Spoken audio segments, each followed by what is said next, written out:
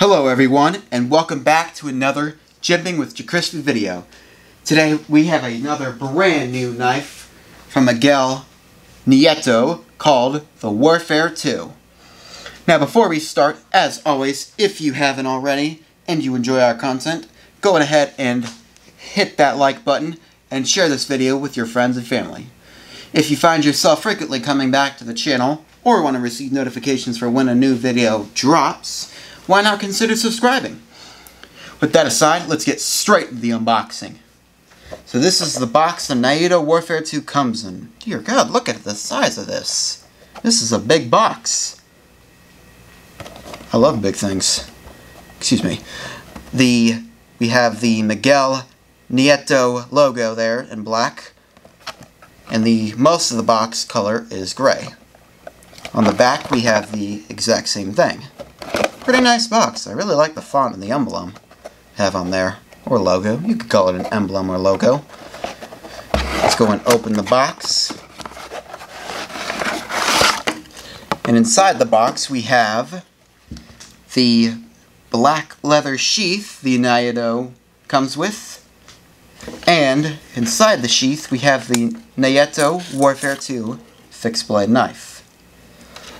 Also attached to the sheath we have this little Miguel Nieto catalog, I guess you could say. As of right now, there are only currently three variants of the Nieto Warfare.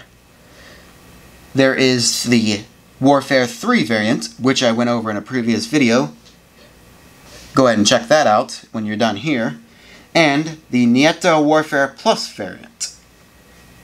And of course, the variant I have with me, the Nieto Warfare 2. I think we should start with the sheath first. Look how nice this looks.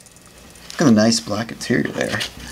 The sheath is made from black leather material and has two lanyard, two lanyard holes near the tip of the sheath. Attached to the lanyard holes is a black and red paracord that can be undone if you want to undo that, and you if you want to attach something else to through the lanyard holes. Pretty good knot. I don't think you should try to get that undone. I probably won't have been able to do it.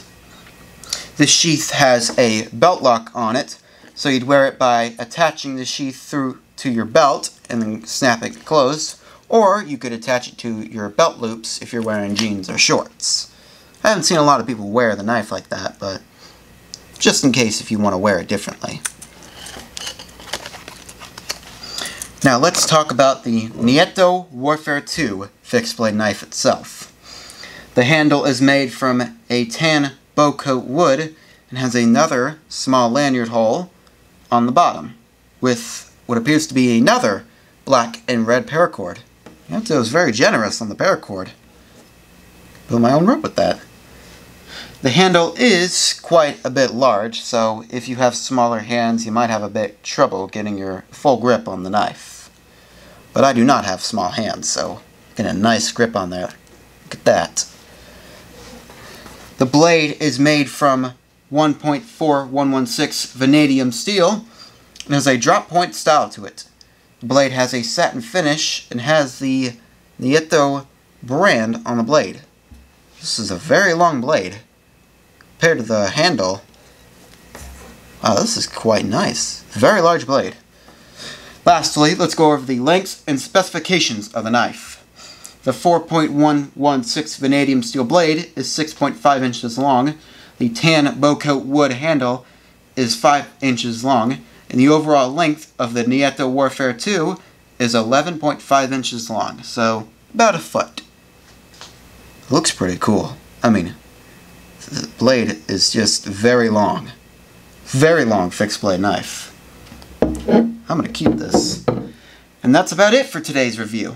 Like I said at the beginning of the video, there are currently three variants of the Warfare. All three variants are available on our website as of this video's release, ranging from $58.95 to $79.95. If you all have enjoyed the video, please consider leaving a like on the, the video and subscribing to the channel if you want to receive notifications. Thank you all for watching, and I hope all of you have a great rest of your day.